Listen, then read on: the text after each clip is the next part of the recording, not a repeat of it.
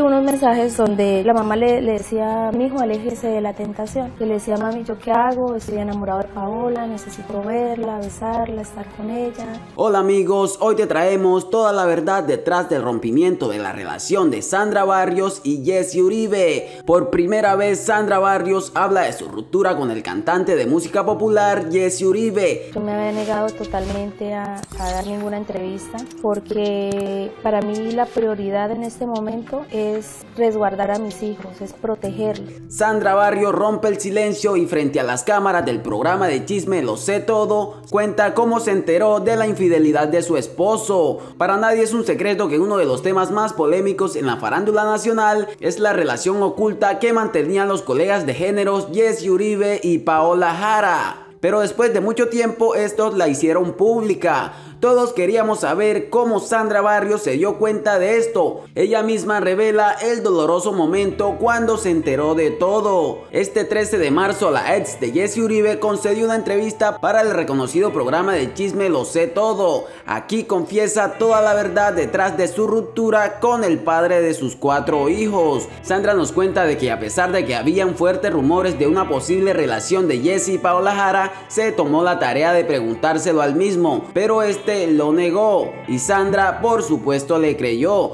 pero los rumores se hicieron más fuertes cuando inicia la gira de la canción Como si nada, canción que Jesse y Paola grabaron juntos. Estos andaban juntos de pueblo en pueblo. Todo parece indicar que estos amores nacieron allí. A pesar que los rumores cada vez hacían más fuerte, Sandra seguía confiando en la palabra de su esposo. Pero Sandra notó un cambio drástico en el modo de ser de Jesse y sospechaba de que algo no estaba bien. Esos cambios de actitud eh, eh, me llevaron a pensar que sí había, e, era posible que ellos tuvieran algo.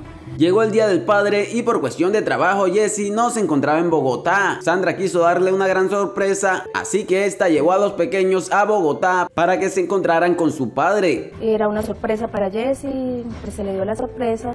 Al día siguiente era festivo y pensé que iba a estar con nosotros, pero él programó con los músicos un juego de paintball. Pero aquí Sandra Barrios se encontraría con su triste realidad. Sandra llega el domingo a Bogotá, pero Jessie no les prestó atención debido a sus compromisos. Y para el lunes que caía festivo, ya había programado un partido de paintball con sus amigos. Así que Jessie Uribe fue acompañado de toda su familia. Pero debido al irresistible frío que estaba haciendo, Sandra se montó al bus en que llegó eh, yo fui al juego de paintball, pero estaba haciendo demasiado frío.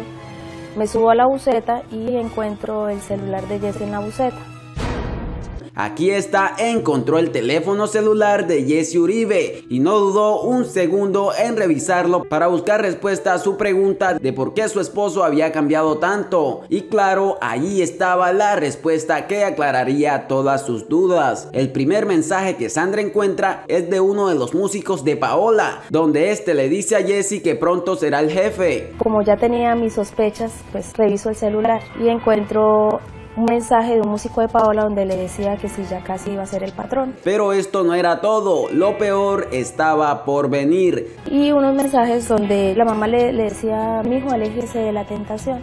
Sandra Barrios mira las conversaciones de Jesse con su madre. Aquí este le pide consejos a su mamá sobre su romance con Paola Jara. ¿Qué hago madre? No puedo estar sin Paola. Necesito verla, necesito besarla. Yo quiero estar con ella y Sandra tendrá que entenderme. le decía mami, ¿yo qué hago? Estoy enamorado de Paola, necesito verla, besarla, estar con ella. Yo a mis hijos no los voy a abandonar y Sandra tiene que entender. Al leer este mensaje el mundo se le vino encima y desde entonces empezó su proceso de divorcio y hasta el momento se desconoce a qué acuerdo llegaron. Pues ahí ya quedó confirmado que efectivamente eh, había algo entre ellos. Paola Jara sí fue el detonante para que se acabara tu matrimonio. Ahora después de ver y escuchar todo esto, ¿qué opinas? Queremos saber tu opinión, así que no dudes en dejar tu valioso comentario y suscribirte a este canal para que estés al tanto de todo. Hasta la próxima y gracias por vernos.